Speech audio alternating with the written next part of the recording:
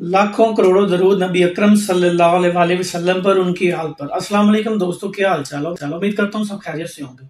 मेरा नाम जाहिद असलम है और मैं गुजरावाला से ताल्लुक़ रखता हूँ। हमारा काम सोडा वाटर मशीनरी बनाना है।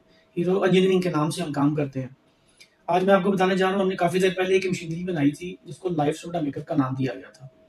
तो उसको अपलोड नहीं किया गया था, इस दफ़ा सोचा कि हम उसको जो है ना सोशल मीडिया पे अपलोड करें तो एक छोटा सा रिव्यू एक वीडियो बना के जो है ना, उसको अपलोड कर दिया जाए।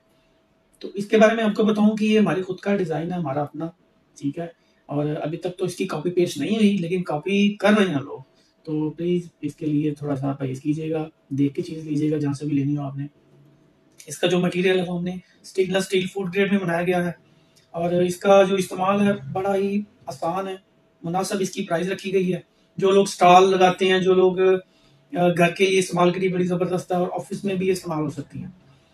तो इसके लिए अगर किसी ने स्टॉल लगाना है तो ये दो चीज़ें एक तो इसके लिए आपको सी का सिलेंडर लेना पड़ेगा, साथ ये मशीनरी और ये मशीनरी आप अपने एक टेबल पे हैंग कर लें। इसके ऊपर छोटे से सुराख लगाए होते हैं हमने। वो उसको फिक्स करके आप उसको इस्तेमाल कर सकते हैं। बड़ी अच्छी चीज़ है। मुनाफा बख्श चीज़ है। और बड़े कम पैसों में ये छोटा सा कारोबार है, बड़ा ज़बरदस्त है। तो इसके जो फ्लेवर्स हैं दोस्तों, वो आसानी से बाज़ार से मिल जाते हैं। जैसा कि कोला, मरिंडा, लेमन और भी काफ़ी फ्लेवर जो है ना बाज़ार से मिल जाते हैं। अगर किसी चीज़ की किसी को समझ ना आ रही हो मुझे पर्सनल नंबर पे फ़ोन कर सकता है। इसके जो फ्लेवर्स हैं, वो आप खुद ले आए। अगर समझ ना आ रही हो, उसको बनाना कैसे है, उसकी रेसिपी कैसे बनेगी, वो मुझसे रब्ता कर ले, मैं उनको बता दूँगा। फ्री ऑफ़ कास्ट अभी हम इसका रिव्यू करने लगे हैं। इसमें हमने एक प्लास्टिक की बोतल लेनी है, एक लीटर की, ठीक है? और उसमें हमने इतना पानी डाल देना है, ठीक है? सादा पानी आप, जो चिल पानी है, वो इसमें डालना है, ठीक है? और बोतल को हमने जो है ना, आसानी से ऐसे लगा देना है। ये आपकी बोतल लग गई।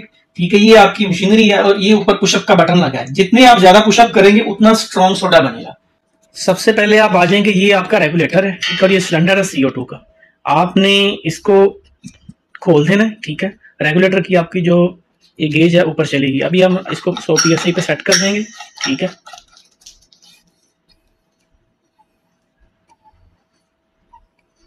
ठीक है, ये 100 के तकरीबन थोड़ा सा ऊपर चला गया।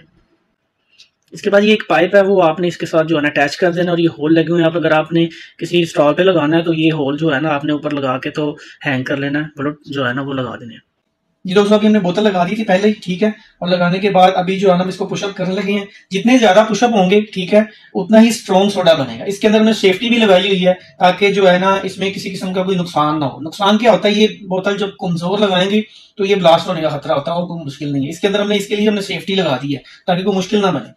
तो ये देखिए, ये ऐसे हो गई। अगर आप जल्दी इसको स्पार्कलिंग करना चाहते हैं, जल्दी सोडा बनाना चाहते हैं तो आप इसको जो है ना मैनुअली इसको बार बार इसको पुशअप कराते हैं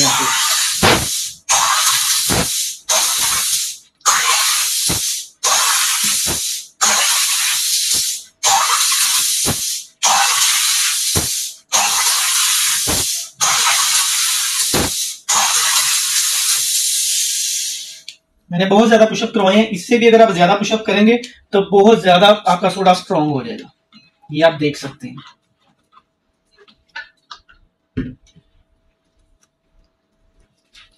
ये अच्छा कीजिए।